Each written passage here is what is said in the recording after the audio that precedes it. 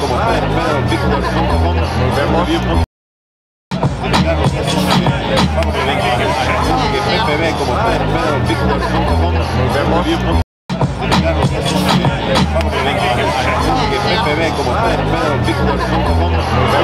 your final message to these fans here in Las Vegas? Artist Sports, we're here with Ebanie Bridges. Uh, man, the, what's your reaction to the weigh and what do you think? Yeah, good. You know what? To be fair, they both look really healthy. Both look strong, look fit.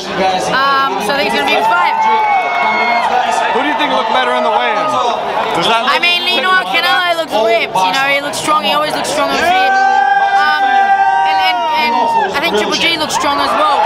He looks so depleted. So, you know, both look strong. how do you have the record so far with their fights? A lot of people I winning the first fight and Canelo winning the second. Okay, so for you, it's It's one even. This is whoever wins, yeah. Is it. Yeah. Yeah, I gotta get your take real quick. It sounds like yesterday. Hopefully, we're gonna get it right. Errol Spence versus Terence Crawford. Yeah. What do you think about that rematch clause? Each loser can decide. Whoever the Oh, loser really? is can decide, and they just get the, the minority share. What do you think about that?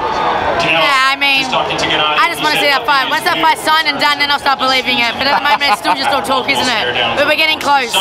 What about the southpaw and southpaw battle with that? How does that play out between those two guys? You know, I don't think it's going to make my, for me personally, Terence Crawford switches a lot. So, I mean, it's going to be, I think, might favour him a little bit.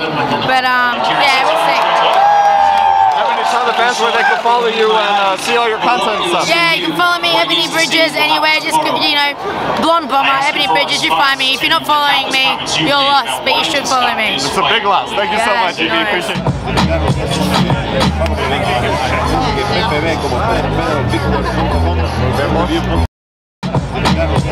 it.